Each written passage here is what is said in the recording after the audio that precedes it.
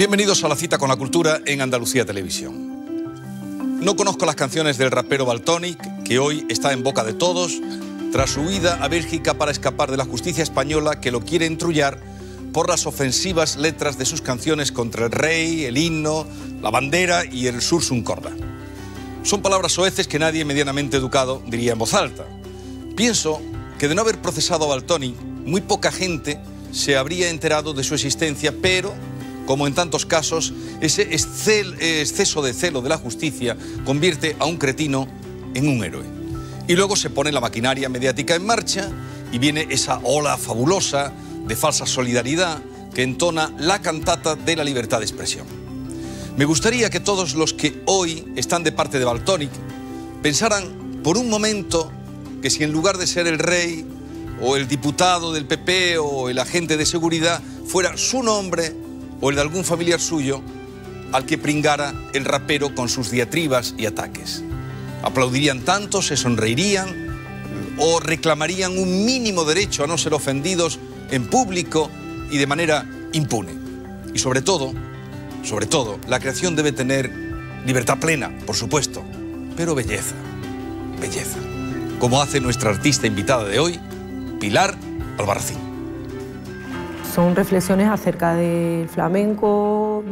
Es una de las artistas contemporáneas más controvertidas del panorama nacional, con importante reconocimiento internacional. La sevillana Pilar Albarracín, que realizó su primera exposición en 1997, ha expuesto en los museos de medio mundo, vive y trabaja entre Sevilla y Madrid y es capaz de hablar de la lucha diaria a la que se enfrentan las féminas en un mundo machista, retratándose a sí misma vestida con traje de luces, tacones rojos, un color inherente a su obra y una olla express como complemento. Su obra indaga sobre los tópicos y los clichés relacionados con la identidad nacional, expone su visión sobre asuntos que le preocupan, como el folclore andaluz y la imagen que se exporta donde el flamenco y los toros ocupan un lugar simbólico.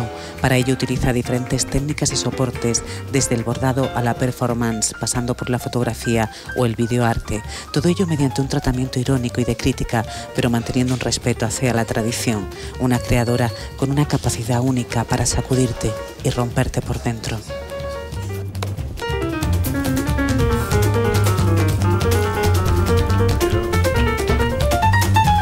Si yo les digo a ustedes que Pilar Albarracín es una de las artistas contemporáneas más consideradas del panorama nacional, mm, con un reconocimiento internacional, y, aun siendo andaluza, puede que muchos eh, de ustedes no sepan quién es. Pero si ven la foto que yo les invito a que, a que ahora miren, o que va a aparecer en pantalla, la de la, eh, esa foto, esa foto, seguro que ya les suena, o también esta foto, esta mandala de esa obra eh, que dio la campanada en Arco en 2014. Pilar Albarracín, bienvenida. Hola. La bailarina, eh, bueno, bailarina, la, mujer vestida de flamenca que desciende como Papá Noel por la ventana, que se llama El Duende Bolé, ¿no? Sí. Esto se ha hecho viral. Se ha hecho viral, sí. Algunas obras que tengo se han hecho virales. Esa es una de ellas. Sí, está muy bien porque, bueno, es una forma de que la gente coja tu trabajo y le, dé otra interpretación, otra lectura. Es muy interesante para mí. o sea que las nuevas tecnologías, aunque tú mm, eh, no sé si las trabajas mucho o sigue en redes sociales, si eres activa o no. No, muy activa no soy. O sea que eso te lo han dicho los amigos, lo que ha pasado con, bueno, te llega por el WhatsApp o mm, por Facebook, te dice la gente, oye, he visto esto tuyo. Creo que esta feria había un montón de comentarios con, con, esa, con esa foto, ¿no? Sí. ¿Y qué querías, qué querías decirnos con esto?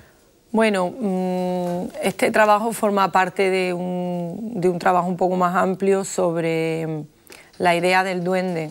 Sí. El duende eh, conectado al flamenco, pero también conectado al arte contemporáneo, ¿no? Pero ¿esa mujer está escapando o está trepando? No se sabe. Tampoco hay que... ¿Cuál, es el comentario que más te ha llamado la atención de los que han hecho sobre bueno, me gustaba, los que le han puesto? Me gustaba lo que ponía, eso de mi marido dice que este año no voy a la feria, que por la puerta no salgo, ja, ja, ja. Está bien, ¿eh? Estaba bien. Eso es darle una vuelta a la obra del artista en este caso. Sí, porque las obras no solo tienen una lectura, sino tienen muchas posibles lecturas. Yo aporto las mías, pero después es muy interesante que la obra siga eh, estando abierta para otras posibles lecturas. lo que pasa, y esto entramos en otra materia que yo ahí sí que no tengo ni idea, eh, en, el derecho del autor, en, lo que el autor que ha creado esa obra, ¿dónde puede llegar, bueno, dónde ha llegado esta imagen, por ejemplo? Bueno, por una parte está mm, la obra en el mercado, y pues eso, los derechos de autor, los derechos también de reproducción, etcétera. Y por otro lado está también la, cosa maravillosa de que la obra salga y se compartan y sea libre. Mm, mm. Sí, pero los autores, los artistas tienen que comer. Eso sí, los artistas tenemos que comer, pero bueno. ¿Y tienen algún capricho también? Sí, a veces una cosa no, quita la otra, son compatibles. Eh, acabas de llegar ahora, hace muy poco has participado en una exposición en el Museo Picasso de París que se hizo con motivo del de, eh, aniversario del bombardeo de Guernica, ¿no? Sí. O fue por ahí por donde fue tu obra, eh, que llenaste todo de, mujeres eh, en el suelo con vestidas de flamencas. Esa fue tu visión, en la piel del otro. En la piel del otro. En la piel del otro. Eh, ¿Cómo ha ido? Cuéntanos esa experiencia, ¿cómo fue? Bueno, muy bien. Ellos tienen ahora mismo en el museo una, exposición sobre el Guernica, sobre todos los apuntes y un montón de cosas alrededor de, la creación de la obra. Y me invitaron a participar eh, como artista contemporánea a revisar un poco la idea del Guernica. Y por otro lado me invitaron a hacer una, algo conmemorativo el, mismo día del bombardeo. Ahí lo estamos viendo ahora. Entonces yo les propuse hacer un suelo de, mujeres que se llamaba, bueno, se llama La piel del otro. Entonces había 100 mujeres vestidas de flamenca que permanecían tumbadas en el suelo sobre cuatro horas. Sí sin moverse, bueno, moviéndose lo justo para no sentir mucho dolor de espalda. ¿Y cómo consigues tú? Esas son francesas todas, no te las vas a llevar de, aquí de Sevilla. Y son gente voluntaria, pues fue una cosa súper emotiva. ¿Por eso que es? ¿Por, por persuasión? ¿Cómo...? Pues eh, yo expliqué un poco la idea y, y, hubo mucha gente que quiso participar. Allí en Francia hay muchísima gente que son segunda, tercera generación de inmigrantes, o sea, nietos, hijos, y había hay como un amor por, por, España, por el país que tuvieron que dejar por motivos políticos, por motivos económicos, que, que bueno, que hizo que fuera muy intenso el encuentro y, y muy bonito. En la piel del otro. Sí. Eh, este, este trabajo, ya habías hecho algo también eh, aquí, ¿no? Eh, aquí hice un preparatorio en el centro andaluz y también fue muy bien. Oye, ¿en, Francia se trata mejor a los artistas plásticos? Mm, no lo sé, a mí me tratan muy bien. Por eso yo sé que tú has expuesto allí muchas veces. A mí me tratan muy bien, sí, pero no creo que sea cuestión de Francia o, otros países, ¿no? Simplemente el refrán ese de nadie es profeta en su tierra, pues... Sí, pero también aquí, claro, tú trabajas fuera más que dentro, como casi todos eh, los artistas, porque, pero aquí mm, es difícil eh, es difícil, Es difícil en todos los sitios. Lo que pasa que, bueno, pues al final realmente creo que trabajas más en los sitios donde más apoyo tienes. Y aquí en España a veces no tiene sentido exponer en determinados sitios porque ya conocen tu obra o, simplemente... Bueno, conocen. Pues mm, se conoce porque tu obra está en, muchos sitios, en el has hecho exposiciones aquí, pero todavía yo creo que eres más conocida casi fuera de Andalucía que en Andalucía. A ver, coméntame esta que estamos viendo ahora mismo, esta, esta obra. Esta obra... La de, esa es la del pues, ¿no? sobre, sobre la montaña de libros. Se llama Asnerías, esta es una, especie de reinterpretación de, lo, de una parte de lo, del trabajo de Goya. Sí. Y bueno, me interesa mucho, sobre todo en los últimos años, el tema de la educación, ¿no? Cómo el artista o otras personas pueden intentar cambiar un poquito la sociedad, si no la, actual, un poco la, futura, a mejor a través de la educación. Entonces, pues no sé. Yo, estoy completamente de acuerdo contigo. Mm. A veces mm, los artistas, por lo menos en mi caso, ¿no? me resulta más fácil eh, sintetizar las ideas en una obra que verbalmente, ¿no? Ya, ya, ya lo sé. Pero bueno, también nos ayuda un poco... Ahí estamos viendo... Yo siempre que he pensado en ti como la Abramovic española. En Pilar Albarracín yo siempre he pensado, es nuestra Abramovic. Bueno, Porque no sé. pones también tu cuerpo. Tú en casi toda tu obra te expones tú. Sí, intento, bueno, intento ponerme yo. También cuando son obras así colectivas, de participación colectiva, siempre digo que nunca le voy a pedir a otras personas que hagan una cosa que yo no hago, ¿no? Entonces, e-, esa que estamos viendo eres tú. Esa soy yo. Esa eres tú. Esa soy yo, lo que pasa es que hay cosas que las hago una vez y digo, ya no la vuelvo a hacer más, lo de tirarme por el, el piso atada o colgarme boca abajo o ponerme con el toro, pues que ya digo, cuando estoy entrando en faena digo, ay Dios mío, ¿para qué estoy haciendo yo esto? Una vez que estás ya metida en Una vez que ya estoy metida, pero bueno, al final lo vuelves a repetir, la verdad. Mm. Bueno, tú tienes siempre una... Me gusta también mucho la libertad con la que tú tocas... Eh, eh, bueno, aquí esta, esta imagen ya es brutal. Esa, eh, aquí Lola Puñale... Bueno, ¿cuál es el título de la obra? No comment. No comment. Está hecho en inglés porque se, se, entiende muy bien. Es tremenda, esa es tremenda. Con la, pero con la placidez que estás fumándote el cigarro, eso es un poco como que te resbala... Bueno, que la vida continúa. Es como una especie de eh, rememoración al cine negro americano, a... a ti te tiran puñales y tú sigues para adelante. Sí, sí, sí. Pero además la placidez... Tú sigues a lo tuyo. Sí, exactamente. Pues vamos a seguir a lo nuestro, que es hablar de, de ti y conocerte un poco más. Eh, lo que decía que otra cosa que siempre me ha, gustado mucho de ti es la libertad con la que tú te has acudido a los complejos a la hora de tocar los tópicos. Tú has tocado incluso te has vestido de torera, eso en este país ahora, vestirse de torera, eso es poco menos que eh, ser revolucionaria. Pero los tópicos tú los has manejado, algunas fotos hemos visto, ¿no? Eh, la versión que hacías de tu, o tu mirada eh, sobre lo del Guernica, la, vestida de flamenca escapándose. ¿Cómo entiendes tú el, folclore o cómo lo manejas? Bueno, a mí en, un principio no me gusta mucho que me encasillen, ¿no? Yo creo que cuando te encasillan eh, realmente te están cortando mucho las alas y no te están permitiendo desarrollarte como te puedes desarrollar, ¿no? Entonces, en ese sentido, siempre, aunque me haya, me haya dado un poquito de miedo o de, o de, impresión hacia algunas cosas, al final las he hecho. Ha podido más las ganas de romper esos moldes que, que el, propio miedo, ¿no? Y bueno, y después no pasa nada. Lo mejor es que después te das cuenta que, que no pasa nada. No pasa nada. Porque hay que ver la que se lió con las bragas. Que tenemos que hablar de las bragas porque yo sé, eso pasó hace unos años, pero fue una auténtica campanada en, en Arco en el año 2014, cuando tú apareciste con El Nuevo Mundo, el, origen del Nuevo Mundo. El origen del Nuevo Mundo, que era un poco recordatorio de la pintura de Cuber, ¿no? El origen del mundo. Sí. Y, liaste la, mundial con las mandalas, este, eh, las mandalas de las, de las bragas, que además era mucha gente no caía en la cuenta. Ahí lo tenemos. Bueno, es que de lejos no se ve y después cuando se va acercando la gente y ve que son bragas es como... Son bragas. son bragas usadas, pero limpias, de mis amigas y de las personas de mi entorno. ¿Cuántas bragas reuniste? Un montón, un montón. Además, después me sobraron un montón y me daba cosa tirarlas porque decía, aquí va algo del espíritu de la gente que me la ha dado. Y no sabía qué hacer con tantas bragas.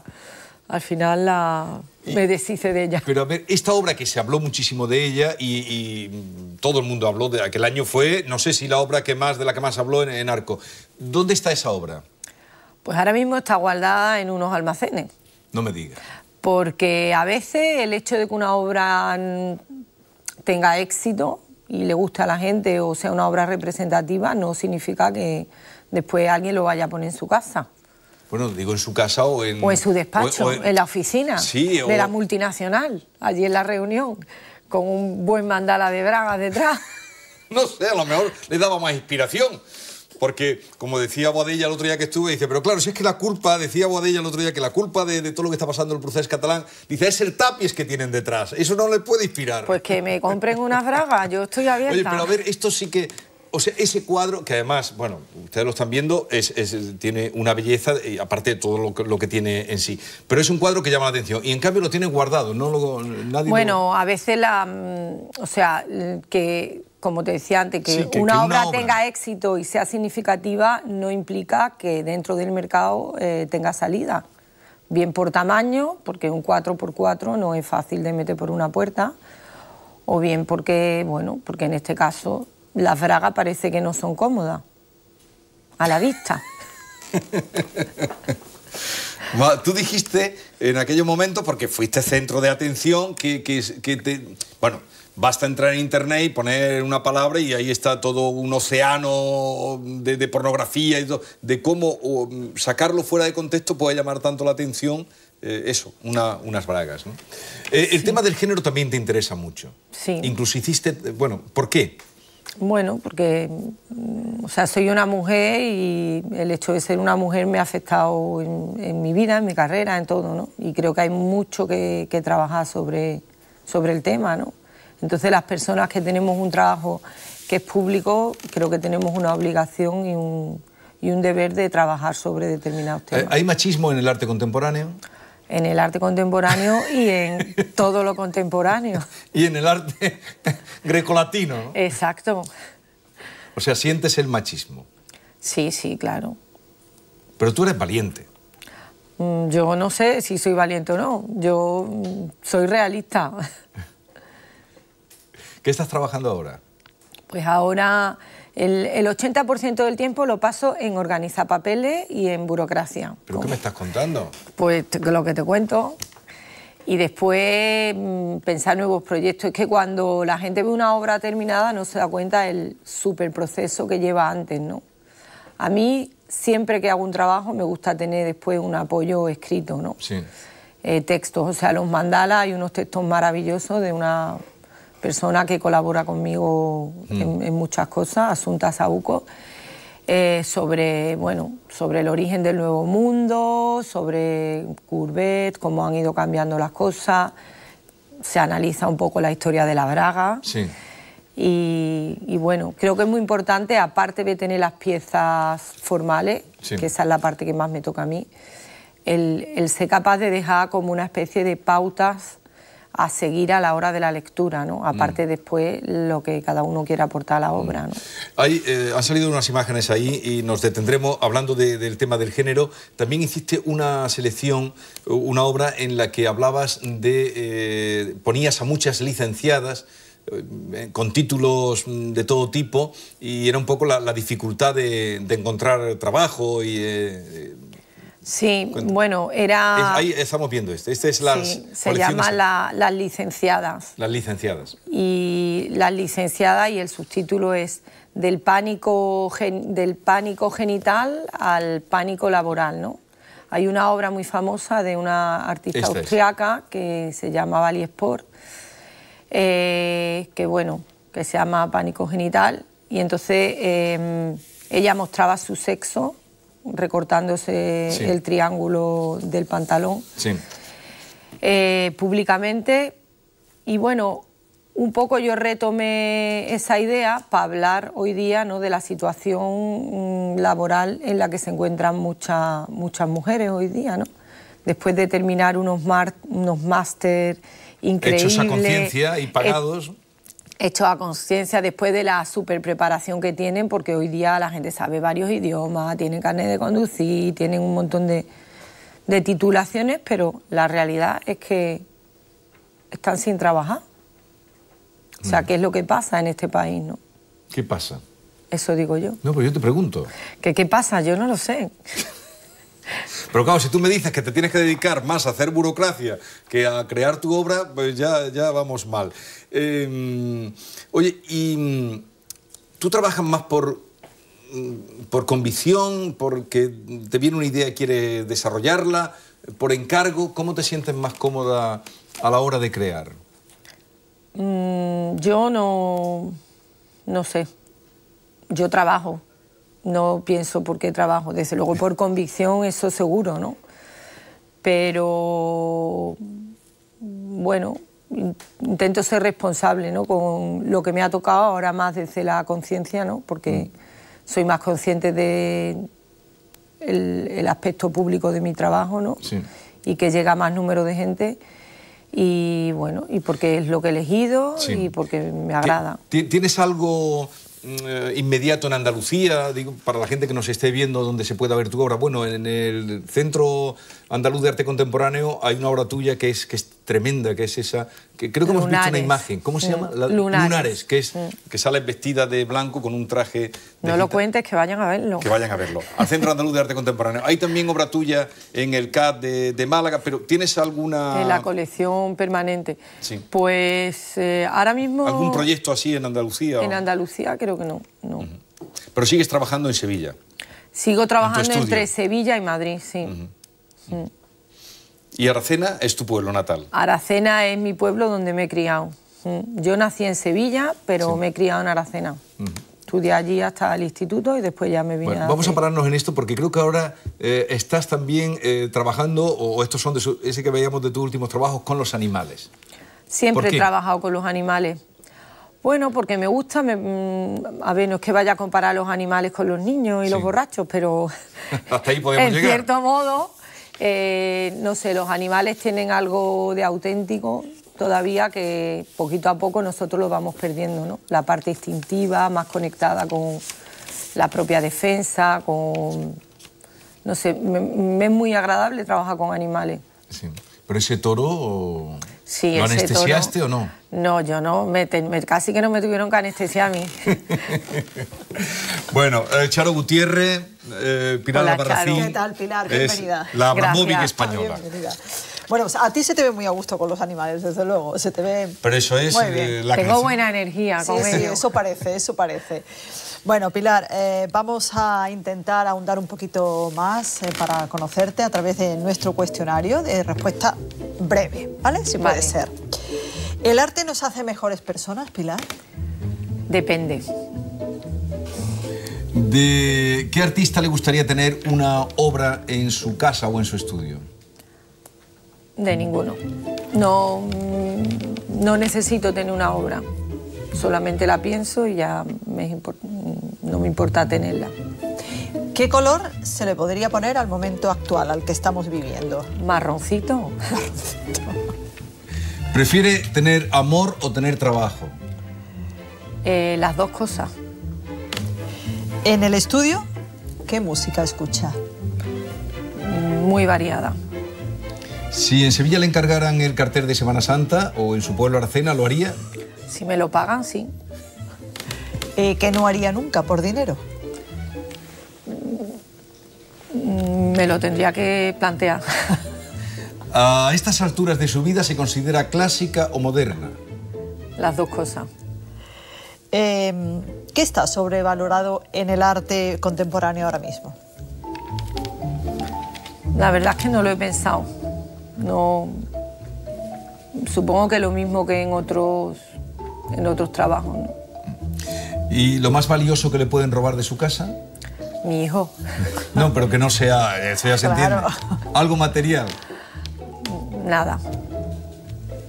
¿A qué hemos venido al mundo, Pilar? Pues todavía estoy intentando saberlo.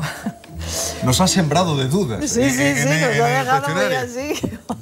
Bueno, Pilar, eh, has comentado antes que tienes buena energía cuando hemos comentado lo de los eh, animales y em, el libro que has elegido para esta parte del programa tiene mucho que ver también con las energías y con, me imagino, que, y que te ha servido mucho es I Ching, el libro de las mutaciones. ¿Por qué traes este libro? ¿Por qué lo has elegido? Bueno, siempre elegí me resulta muy difícil, ¿no? Porque mm, solamente en el momento que te plantean, elige algo, ya tienes que descartar un montón de cosas. Entonces, la verdad es que es un libro para mí muy recurrente, porque realmente lo que me interesa de este libro es eh, cómo tú interpretas cada lectura. Eso es lo que me parece interesante. Y la idea de, aunque es un libro oracular, la idea de la mutación y el, movimiento, pues en realidad es lo que me interesa. Más que el libro en sí, la posibilidad de la interpretación que tú haces de cada texto en cada momento. Bueno, entonces, por lo que estás diciendo, te habrá costado trabajo también elegir una película, aunque en este caso nos has elegido el séptimo, el séptimo sello de Bergman. Ah, qué gran película. Cuéntanos por qué, por qué esta película. Pues la verdad es que sí, me ha costado trabajo también. Bueno, mm, me gusta por, mm, primero, por una cuestión estética, porque me encanta la estética. Después me encanta el, el, hecho de estar con la muerte cara a cara, jugando la partida.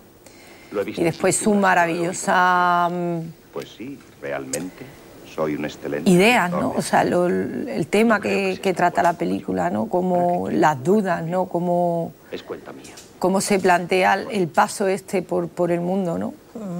Lo que me, hace reflexionar mucho.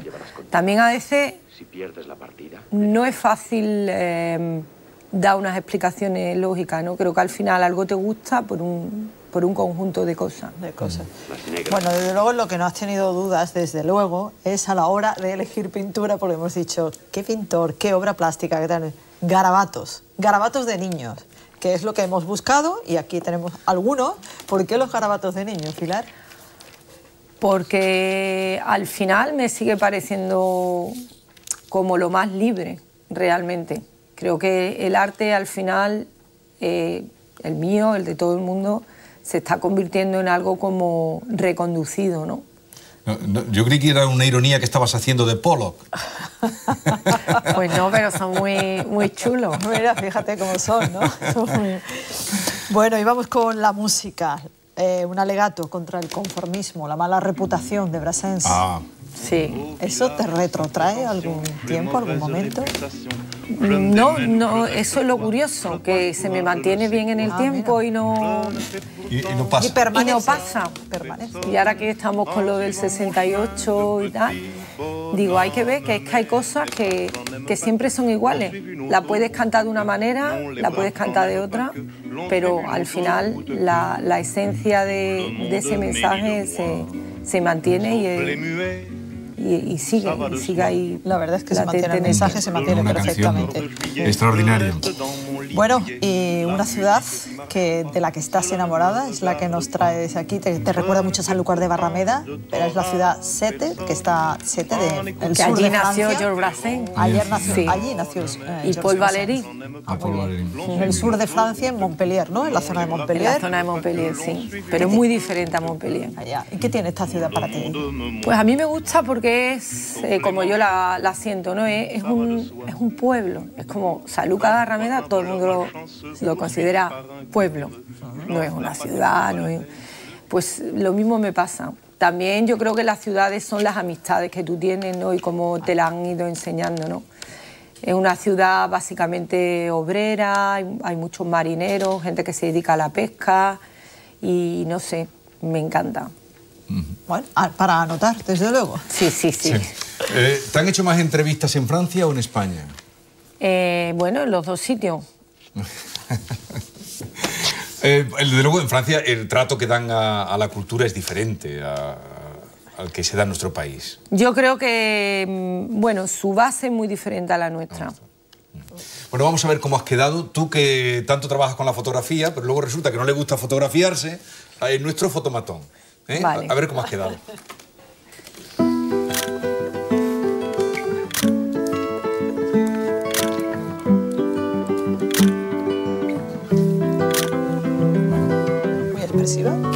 ¿Cómo es ella? Pues eh, Pilar Albarracín, ha sido un placer eh, estar contigo, charlar y, en fin, ya nos comunicarás cuando haya ocasión para también contarlo a nuestros seguidores de ver tu obra y, disfrutarla. Pues muchas gracias a vosotros. muchas gracias, Pilar. Enhorabuena. Bueno, gracias. nos despedimos aquí a las 11 y cuarto, como saben, aquí mismo en Andalucía Televisión. Pueden volvernos a ver si lo desean o decirlo y también en las redes sociales. Sean felices. Disfruten con la cultura.